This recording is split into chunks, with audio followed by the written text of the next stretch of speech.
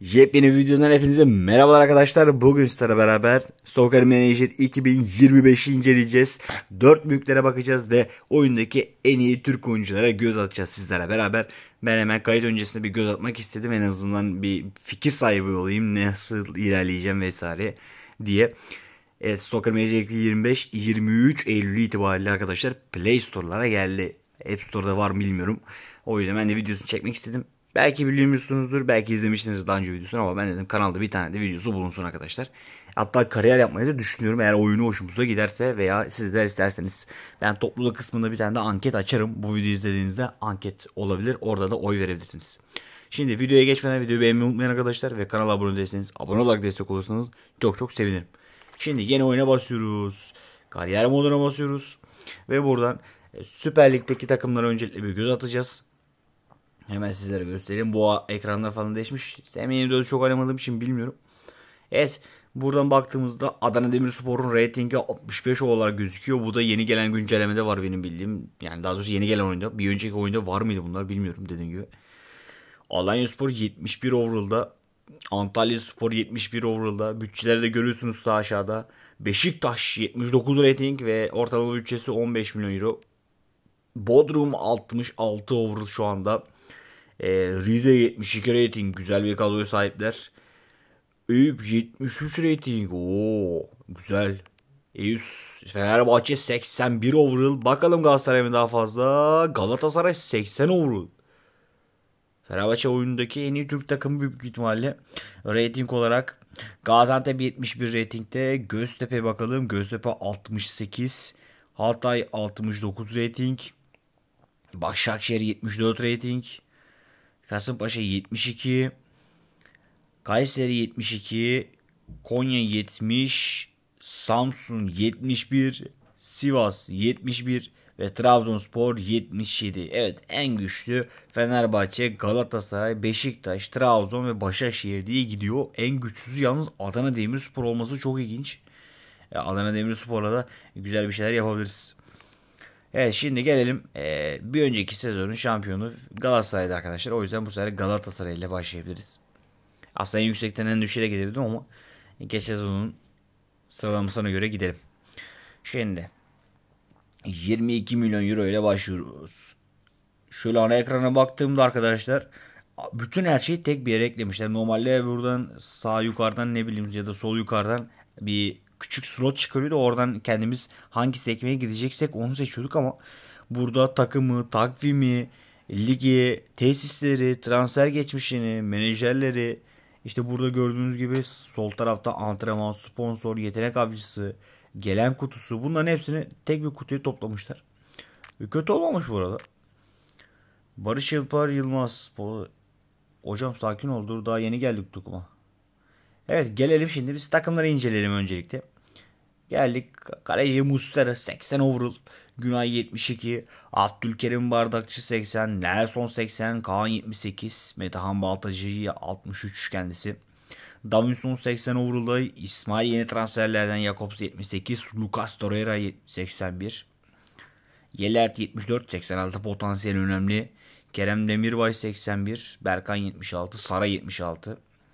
Mertens 82, Ziyech 82, Barış Alper 82, 89 potansiyel. Oy, Barış çok iyi duruyor.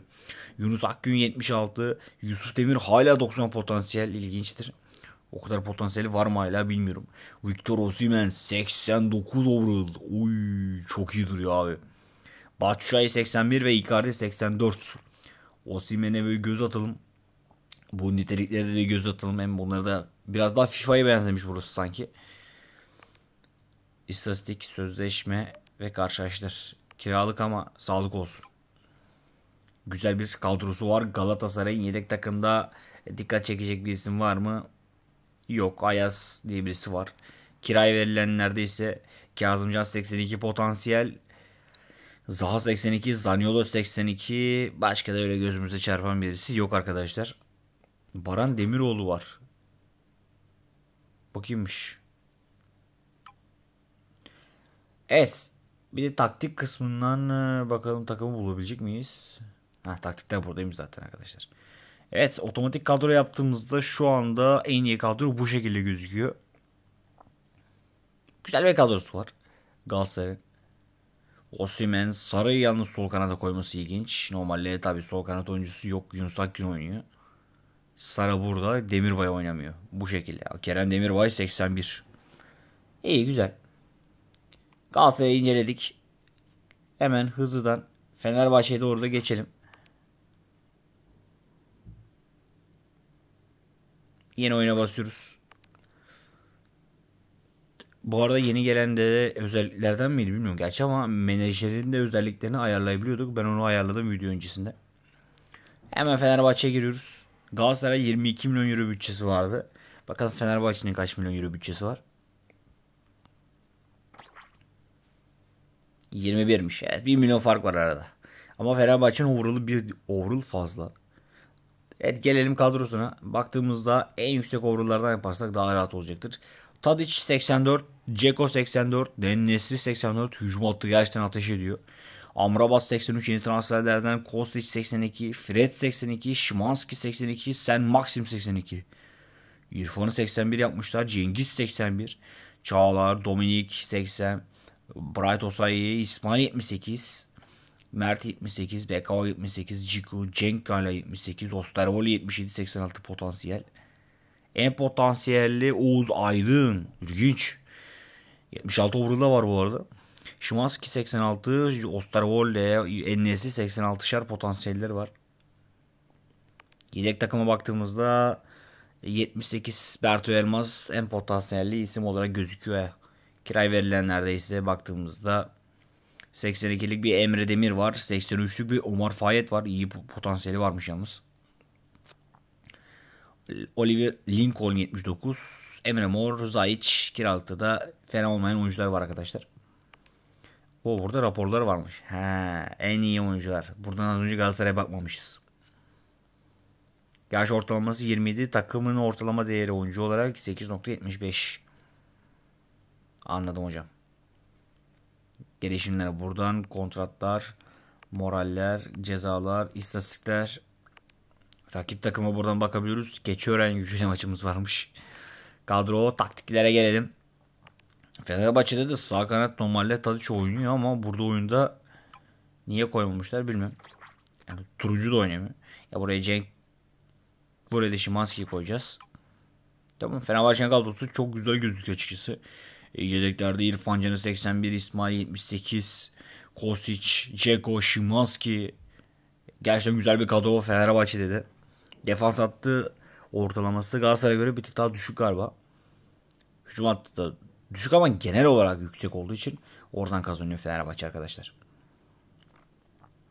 Evet gelelim şimdi bir de bu sezonun e, gözde takımı Beşiktaş diyebiliriz. Takımının bayağı yenildiler. Bir önceki sezonki Beşiktaş arasında çok fark var. Kadrosunu merak ediyorum. Immobile, Rafa Silva'yı katmışlardı. Acaba overları kaç? Beşiktaş ortalaması kaçtı? 79'du. E büyük bir ihtimalle Immobile, Rafa Silva bir de bir ihtimal Joao Mario. Joao Mario da eh, 80 vardır herhalde o kadar değildir. 16 milyon euro var Beşiktaş'ta da. Sıkıntı yok. Evet kadroya hemen gelelim ve göz atalım. Mert 77, Ersin 75.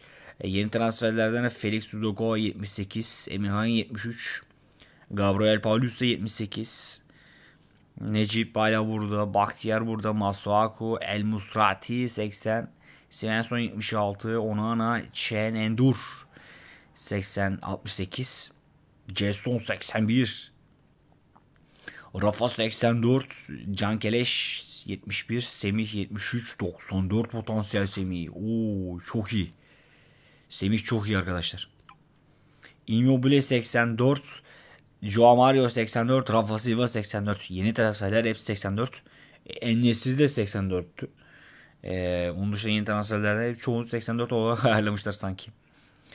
En potansiyel Beşiktaş'ta yedeklerde bir de Mustafa Ekimoğlu var. Yedekte B takımda. Güzel potansiyeli var kendisinde daha 17 yaşında. Ee, belki dinamik potansiyel diye bir şey varsa gelişir de. Burada var mı en potansiyelli? Jackson Muleka. Ege'dikten 81. Kartal Kayrağı 81. Güzel e, potansiyelli oyuncuları var. Ama Semih Kılıçsoy 94 potansiyel. Çok iyi. Büyük ihtimalle ligin en potansiyelli oyuncusu arkadaşlar. Beşiktaş'ın kadroyu da hemen bir göz atalım. Taktiklere otomatik seçim yaptığımızda aa Rafa Silva niye burada oynamıyor? Rafa Silva forvet olarak gözüküyor arkadaşlar. Immobile ile ikili yaparsın. Joao Mario 10 numarayı çekersin. He. 4-2-4 baklava yaparsın burada arkadaşlar. Lan dur. Heh. O burada oynamıyor. Neyse tamam. Ee, Carlo Ancelotti 4-2-4 taktiği 4-2-4 Diamond taktiğiyle arkadaşlar güzel şeyler yapabiliriz. Ha, böyle değişmiyor. Şurası biraz fazla esnek olmuş. Baksana. Tamam neyse. Bu şekilde Beşiktaş'ın kadroyu da gördük. Güzel bir kadrosu var Beşiktaş'ın da. Ben beğendim. Semih Kılıçsoy özellikle 94 potansiyel görünce e, bir gözlerim açılmadı da değil arkadaşlar. Bir de Trabzonspor'a bir göz atalım. Yeni oyun. Kariyer modu. Bir de Türk oyunculara hemen hızlıdan bir göz atıp fazla uzatmayın bölümü anket açacağım. Hangi takımla kariyer yapalım veya kariyer yapalım mı tabii ki öncesi o da var. Kariyer yapmak zorunda değiliz. Abi şu oyuna hani ücretli de olsa sezon sonunda direkt simüle gelmesi lazım. Eğer öyle bir şey gelirse ben size iddia ediyorum bu oyun yüklenmesi ikiye katlanır. İkiye katlanır. Gelelim Trabzonspor'a hemen göz atalım. Trabzonspor'da eskiden potansiyel oyuncular vardı. Bakalım hala var mı? Var bu arada. Daha ana sayfadan yeni transferlerden Batagov 85 potansiyel. Serdar Saatçi 86 potansiyel. Uğurcan 83 potansiyel ki 80 overall olmuş. Savic 83 overall güzel overall var. Eren Elmalı fena değil. Okay 75 düşük sanki bana düşük geldi. Mendy 85 potansiyel güzel 78 overall var. Ozan 74. Pedro Molero 73. Burada Lundstram 78. Vakayeme 76'ymış. Mehmet Çam önemli isim 86 potansiyel. Orsic, Banza 81 yeni transferleri bu sezonki. Deniz Dragoş 76. Enis Destan da 87 potansiyel. Güzel isimler var Trabzon'da. Yedeklere bakalım. Onur Alp var kalede. 81 potansiyel önemli. 75 Arif boşluk. Başka Zekeriya 79 ve Cihan Çanak 79 olarak gözüküyor Poyraz. Aslında Ümit Milli takımda güzel goller atıyor Poyraz.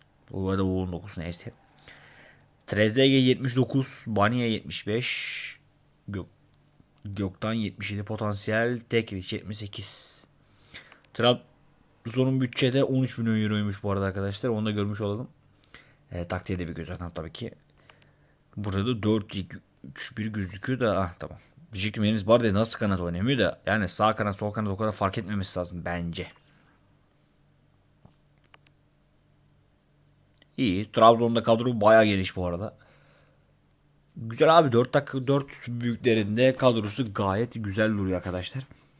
Şimdi buradan bir de transferleri bulacağız ama ben az önce baktım. Heh, tamam tamam tamam. Kulüp transferleri yok. Ee, gelişmiş arama. Tamam.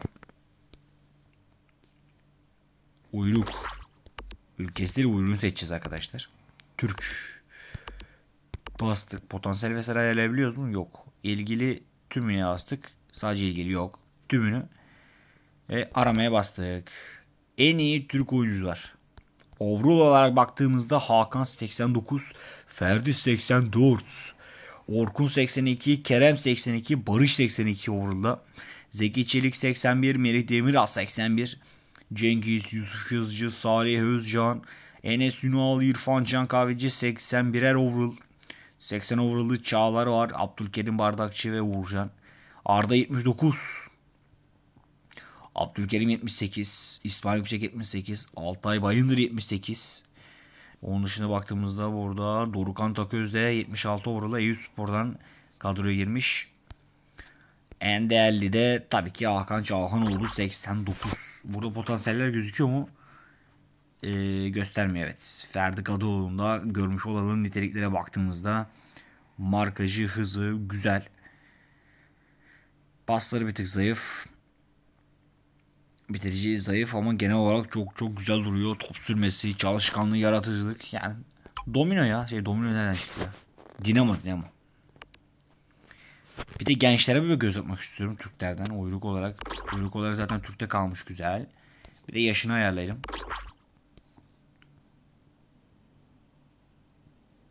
...21 yaş altı Türk oyuncular.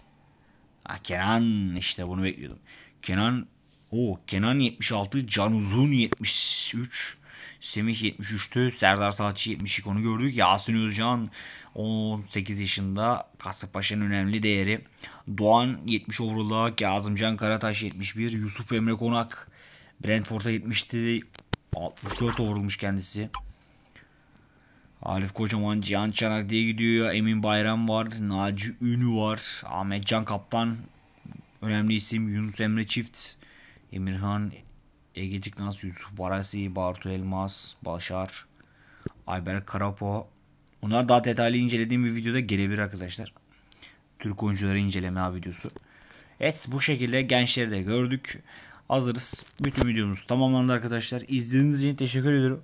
Dediğim gibi kariyer istiyorsanız topluluk kısmından fikirlerinizi belirtebilirsiniz. Kendinize iyi bakın. Hoşçakalın.